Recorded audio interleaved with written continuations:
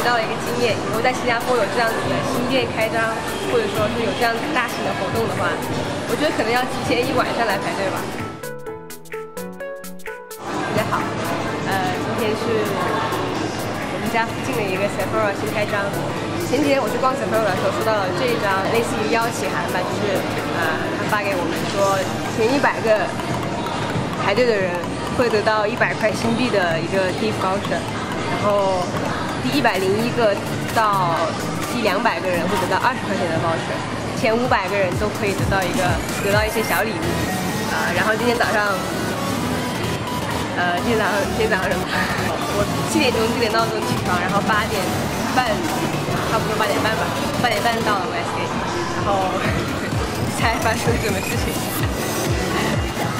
看一下，这边是第一个队伍。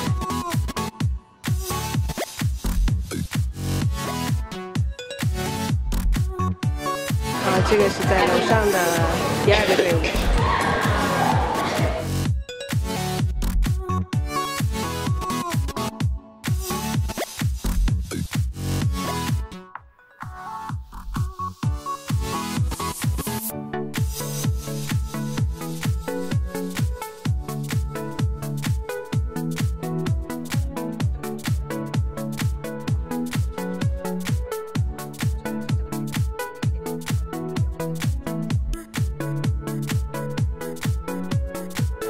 是第三个队伍，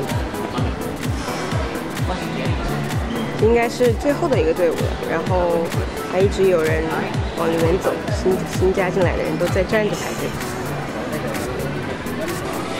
现在是早上九点过十分，我还没有吃早饭。原本原本是想着今天早一点起床来排个队，说不定可以拿到一百块钱。可是现在看来好像不太可能。今天学到了一个经验，以后在新加坡有这样子的新店开张，或者说是有这样子大型的活动的话，我觉得可能要提前一晚上来排队吧。那今天这个视频就拍到这里了，我要去吃早饭了。